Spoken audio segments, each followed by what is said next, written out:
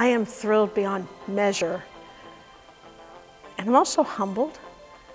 Um, it's such an incredible group of women, and it's such an incredible award itself, recognizing women.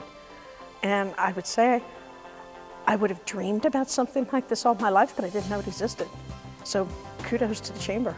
You know, women lead in a different way than men do, and it's frequently not recognized, and it's very easy to be discouraged, particularly as a young woman. And I think that that inspiration is very important. I think that encouragement is important, and those two things are at the heart of mentoring, which is why I think it's also very important that the Athena Award stresses the value of mentoring. Follow your passion, don't let fear hold you back, do what you love in life, and don't seek reward, because I have found that rewards remarkably come to you, often when you least expect them. But to be an Athena, charge out in the world and embrace it all.